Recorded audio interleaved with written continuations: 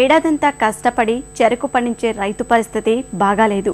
దశాబ్దాలుగా అన్నదాతలకు వెన్నుదన్నుగా నిలిచిన సహకార చక్కెర మిల్లుల ఆర్థిక స్థితిగతి బాగాలేదు. మహోన్నత ఆశయంతో నెలకొల్పిన సహకార కర్మాగారాలు ఒక్కొక్కటి మూలన పడుతున్నాయి. యంత్రాల ఆధునికీకరణ లేక చక్కెర ఉత్పత్తి పెరగక చెల్లింపులు చేయలేక సతమతమవుతున్నాయి. ముఖ్యమంత్రి సొంత జిల్లా అయిన చిత్తూరు జిల్లాలోని రెండు సహకార మిల్లులు మూతపడే దశకు చేరుకున్నాయి. గత రెండేళ్ళుగా బకాయిలు చెల్లించకపోవడమే కాకుండా ఈ ఏడాది గానుగాటే ప్రారంభించలేదు. అసలు చెరకు క్రషింగ్ మొదలుపెట్టే పరిస్థితే కనిపించడం లేదు. తెదేపా సర్కార్ కమిటీ వేసినా నేటి వరకు ఎటువంటి ఫలితం లేకపోవడంతో రైతులు కోఆపరేటివ్ మిల్లులు కాదని విధి లేక ప్రైవేటు కర్మాగారాలకు చెరుకు తోలాల్సిన దుర్గతి ఏర్పడింది.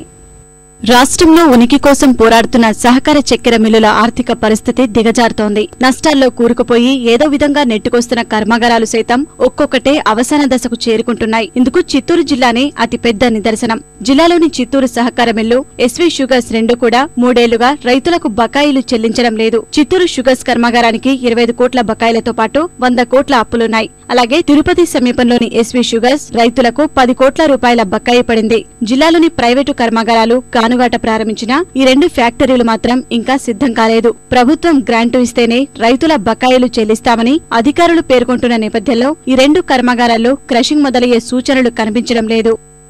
పన్నెండు పదమూడు పదమూడు పద్నాలుగు రెండు సంవత్సరాల నుంచి చెల్లించాల్సినటువంటి పేమెంట్ రైతులకి చెల్లించడం ఫ్యాక్టరీలు. ఇప్పుడు ఆ పేమెంట్స్ కమిటీ కానీ ఇచ్చేసి కానీ కమిటీ వేసుకుని ఉంటే బాగా సౌకర్యంగా ఉండేది. అయినా ఇప్పుడు పేమెంట్ చేయని దాని వల్ల రైతులు ఇంకా ఈ ఫ్యాక్టరీ తోలితే డబ్బులు ఇంకా మ- మళ్ళా ఈ రెండు సంవత్సరాల మాదిరిగా జరుగుతుందనే దీంతో ప్రైవేట్ ఫ్యాక్టరీలకి తోలడం జరుగుతూ ఉంది. ఇప్పుడు ప్రైవేట్ ఫ్యాక్టరీలు ఏం చేస్తున్నారంటే ఇదే సమయం అనేసి ఈ సహకార రంగాన్ని కానీ నాశనం చేస్తే మనం అనుకున్నటువంటి ధర అనుకున్నటువంటి లాభాలు సంపాదిస్తున్నటువంటి ఆలోచనతో ఆ యొక్క ప్రైవేట్ ఫ్యాక్టరీలు కూడా ఆలోచనలో ఇప్పుడు ఈ సమయంలో జరుగుతా ఉంది. చిత్తూరు ఫ్యాక్టరీకి దగ్గర దగ్గర ఆ సంవత్సరం నేను నూట తొంభై టన్నులు చెరుకు తోలినాను రెండు వేల రెండు వందలు అన్నారు ఫ్రీ ట్రాన్స్పోర్ట్ అన్నారు పద్దెనిమిది వందల రూపాయలు ఇచ్చినారు. ఆ పద్దెనిమిది వందల్లో కూడా మా దగ్గర నుంచి ఒక వంద వంద రూపాయలు ఫ్రీ ట్రాన్స్పోర్ట్ కింద కూడా పట్టుకున్నారు. మాకు వచ్చింది ఏమంటే పదిహేడు వందల రూపాయలు వచ్చింది. ఆ పదకొండు పన్నెండు సంవత్సరం దీని ఏం దాని మాటలేదు అది ఆడికి అయిపోయింది అది. పన్నెండు పదమూడుకి నిలిపేసినాం పూర్తిగా ఇంకా మనకు మనకు అవసరం లేదు.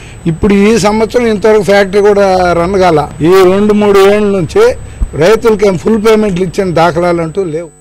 చిత్తూరు జిల్లాలో సహకార చక్కెర మిల్లులో ఒకప్పుడు మూడు పువ్వులు ఆరు కాయలుగా వర్ధిలేవి లాభాలు గడించడమే కాకుండా అనేక మంది రైతులకు చేదోడువాదోడుగా ఉండేవి. నేడు ఆ పరిస్థితి కనుమరుగైంది. పాలకుల నిర్లక్ష్యం అధికారుల అవినీతి వెరసి సహకార కర్మాగారాలు అప్పుల్లో మునిగిపోయాయి. పన్నెండేళ్ళుగా ప్రభుత్వ గ్రాంటు ఆధారంగానే క్రషింగ్ ప్రారంభిస్తున్నాయి. పాతపడిన యంత్రాలు మొరాయించడం ఓవైపు పర్యవేక్షణ కొరవడడం మరోవైపుతో రికవరీ శాతం అంతంత మాత్రంగానే వస్తోంది.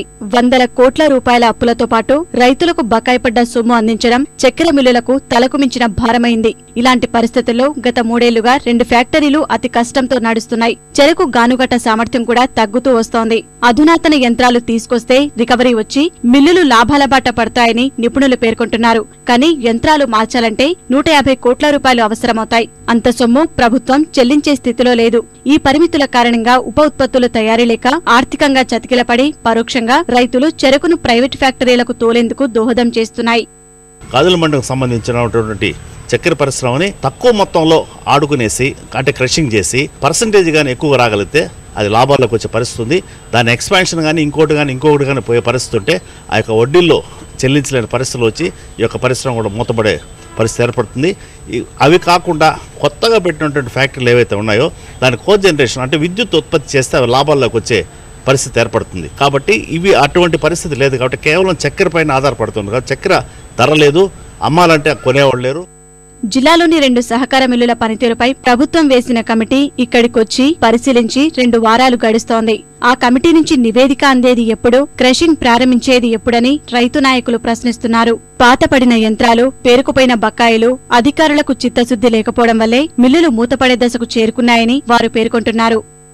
ఈ రోజుకి ప్రభుత్వం వచ్చి ఆరు నెలలైంది. అయింది ఇంతవరకు లేదు. కమిటీ అన్నారు. కమిటీ వచ్చినారు. వాళ్ళు ఎప్పుడు ఇచ్చేది ఉండే పుణ్యకాలం పోతాది. చెరుకు సచ్చినోడితో సమానం. దాన్ని హార్వెస్టింగ్ యాడ్నొకటి ఇక్కడ రైతు తోలుకోవాలా? మన జిల్లాలో రెండు ఫ్యాక్టరీలు ఉన్నాయి. ఏమి లేదు. వెంకటేశ్వర షుగర్ ఫ్యాక్టరీకి పది కోట్ల రూపాయలు అప్పున్నాం. రైతులకి ఇరవై కోట్ల రూపాయలు ఉంటే ఈ రోజు అన్ని ఆ, రన్ నాలుగు ఫ్యాక్టరీలు చెరుకు ఇక్కడి నుంచి ఇంత పోతా ఉంటే కోఆపరేటివ్ ఫీ- ఫ్యాక్టరీలు రన్ కాకుండా ఉన్నాయంటే గవర్నమెంట్ ఉన్నిట్టా లేనిట్టా? చెరుకు లేకుండా అంటే ఫ్యాక్టరీ మూత పడతాదే కానీ చెరుకు ఉండగా ఎందుకు పడతారు? రైతుకు అప్పు దొరకంది మహాశాపం కనీసం ఈ రెండు షుగర్ ఫ్యాక్టరీలు ఏమంటే ప్రైవేట్ వాళ్ళు మళ్ళీ వాళ్ళు చెప్పిందే ధర. వాళ్ళు చెప్పింది మళ్ళీ లోపలికి రానీరు. చిత్తూరు జిల్లాలో ఇరవై ఏడు వేల హెక్టార్లలో చెరకు సాగవుతుంది. అయితే మూడేళ్ళుగా బకాయిలు అందించకపోవడం వల్ల రైతులు సాగును తగ్గించడమే కాకుండా చెరకు సరఫరాను తగ్గించారు. సర్కార్ ఆర్థికంగా సహకారం అందిస్తే తప్ప కర్మాగారాలు మనుగడ సాగించలేవని రైతు నేతలు అభిప్రాయపడుతున్నారు.